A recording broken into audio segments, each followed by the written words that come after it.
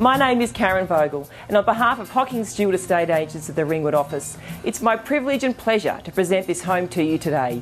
We're at number 14 Mountain Heath Walk in Croydon South. We've got a great home here for the first home buyers, three good sized bedrooms, and the master's great because it's separate from the other two bedrooms, so if you've got kids, you can get away from them, which is good.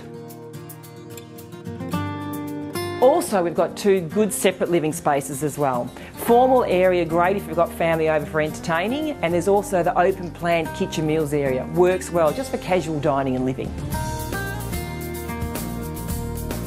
The kitchen offers an abundance of bench space. Great if you love to cook and entertain, heaps of room there. Gas cooking, new dishwasher as well. Good sized pantry and also a huge spot for the refrigerator, so there's no limitations there for you.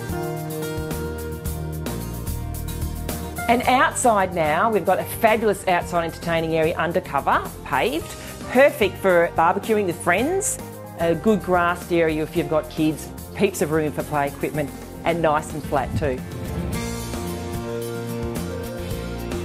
Some other great features of the home, we've got the undercover parking, and we've also got heating and cooling, very important, especially for young families. And outside we've got two garden sheds. And the home's located in a really family friendly environment, nice and private, and very close to schools and transport. There's a bus stop just at the end of the street, and there's a really great park as well you can take the kids to if you need, or you can just go for a walk yourselves with the dog. It's also closely located to the Dorset Road shops. Eastland's only five minutes down the road, Eastlink's only a few minutes down the road, and 30 minutes the other way is the beautiful Yarra Valley. Well, thanks for spending the time with us here today. I hope you've enjoyed the tour and we look forward to meeting you at one of our open for inspections. Or if you want to come through for a private appointment, just give us a call. We look forward to meeting you then.